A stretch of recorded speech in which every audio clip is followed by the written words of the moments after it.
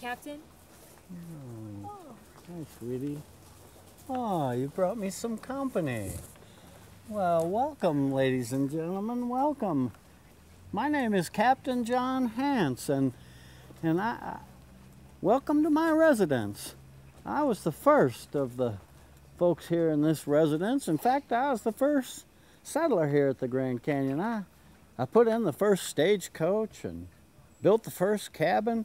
You know, the the Indian people were here ahead of me, those Hopi folks. Uh, uh, I got along with them pretty well. They they only killed me two or three times, and uh, you know I, I, had a reputation as the greatest liar in Arizona, but that's mostly just because I like to tell stories, and you know I tell them different every time I tell them.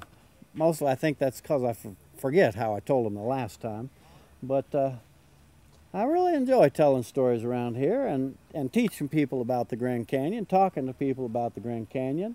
And, uh, you know, every once in a while somebody says to me, Captain, how, much, how come you know so much about the Grand Canyon? I tell them, well, you know, I, I was the first settler. I, I was the first person who built a cabin. I, this is my home. It's been my home for a very long time. And they say, no, you seem like you know everything. I tell them, well, that, that's true, I do. Mostly because I dug it. You see, I, it was a hard life here when I first arrived. You know, wasn't a lot of food, and it, it's hard to grow crops around here. I, I put in a little garden. I, I love having a little garden. I love to see things growing in the ground. And, and I was sitting there admiring my garden one day, and I, and I looked out there, and there's one of them darn little rock squirrels. Have you seen them things? They are destructive. They will come up and chew on everything. Oh, they, I just hate them things. And, and one of them darn little rock squirrels come up and, and my favorite crop, the favorite thing I like to grow was my sweet corn. I love sweet corn. And one day one of them darn little rock squirrels come up and climbed right up the stalk and and pinched off ear of my sweet corn. He stole it, he did, and he took off with it. And I thought, I'm gonna shotgun that fella. And I grabbed my shotgun and, and, and he went down the hole. Well, I couldn't do nothing about that. I watched him careful like, and the next day, sure enough, that dang thing coming and, and stole another ear of my corn. And I thought, that will not do. So I went and I, I got my shovel, I did, and I watched him careful like. I figured out where his hole was. And I watched him, and I went over and I looked down that hole, and, and, and, and sure enough, I could see him looking up at me, thinking he was safe in his whole little face going mm, like this. And I thought, I'll fix you. So I went to digging. He saw me coming, so he went to digging. And then I went to digging faster, and he went to digging faster. And the next thing you know, I was digging and flinging, and dirt was flying all over the place. And I dug and I dug and I dug, and I, and I looked up, and I had dug the whole Grand Canyon. And I thought, well, this place is beautiful. I think I'll keep it.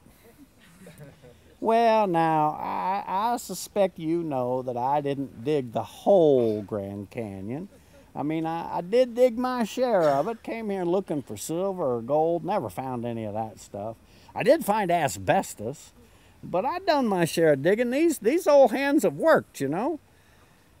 But I wasn't the only one digging. Know, William Wallace Bass, he, he, he had uh, did a little digging too, and Oh, I suspect even Ralph Cameron turned a clod or two on a good day. But you know, that wasn't the important thing. What was really important was the way this canyon kind of dug into us, dug into our heart. You know, we came here and we saw this place and, and we realized this place was special. And we realized that this place was something people ought to see. So every one of us, we started bringing people up.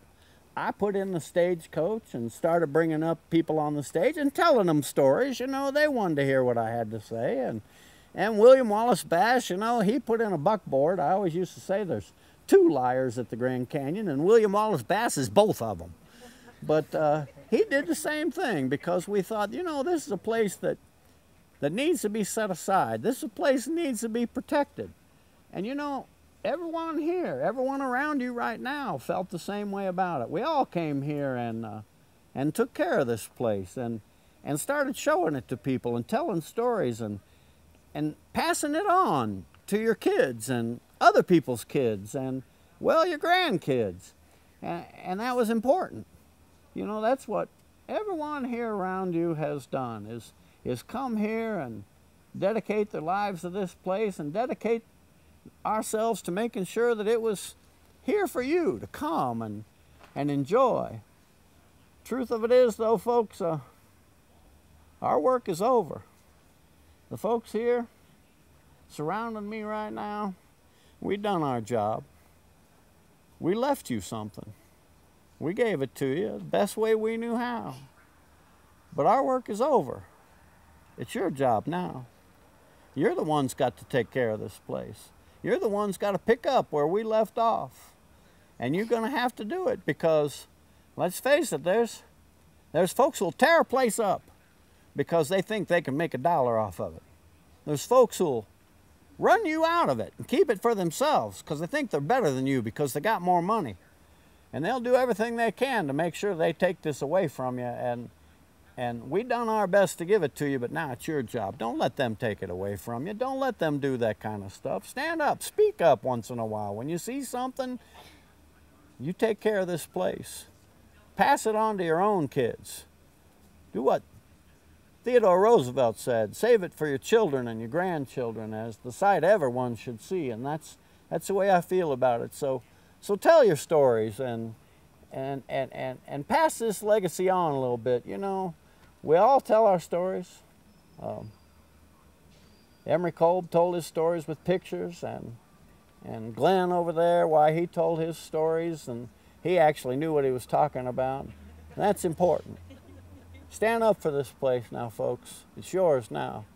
Our job is over. Get out there and explore. Get out there and enjoy. Show it to people. Let them know how much you love it and how much it means to you. Be careful when you're out there, though. It's uh, them them them darn rock squirrels is still out there.